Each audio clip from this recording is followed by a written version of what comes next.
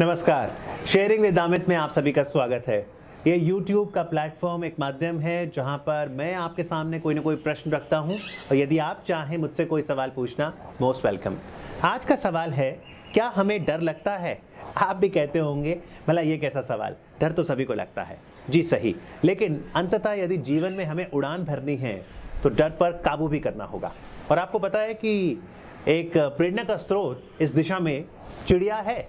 इतनी सारी चिड़िया हमें नज़र आती हैं, लेकिन उनकी उड़ान की तरफ़ क्या आपका ध्यान गया?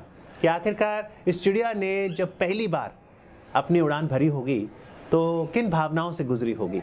आज कविता के माध्यम से मैं आपके साथ ये साझा करना चाहूँगा। इस कविता का शीर्षक है, चिड़िया की पहली उड़ान।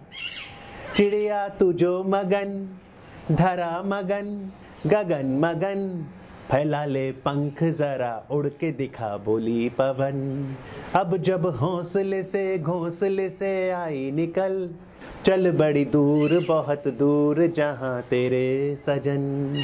और कल्पना कीजिए, जब चिड़िया अपनी पहली उड़ान भर लेती है तो ऊपर से उसे क्या नज़ारा दिखता होगा? वृक्ष की डाल दिखे, जंगल ताल दिखे, खेतों में झूम रही धान की बाल दिखे। गाँव दे हाथ दिखे, रात दिखे, प्रात दिखे। गाँव दे हाथ दिखे, रात दिखे, प्रात दिखे। खुल के घूम यहाँ यहाँ नहीं घर की घुटन। चिड़िया तू जो मगन, धरा मगन, गगन मगन। फैला ले पंख जरा उड़ के दिखा बोली पवन। तो आप भी चिड़िया से कुछ प्रेरणा लीजिए और उन्मुक्त होकर अपनी उड़ान भरिए और डर को काबू कीजिए।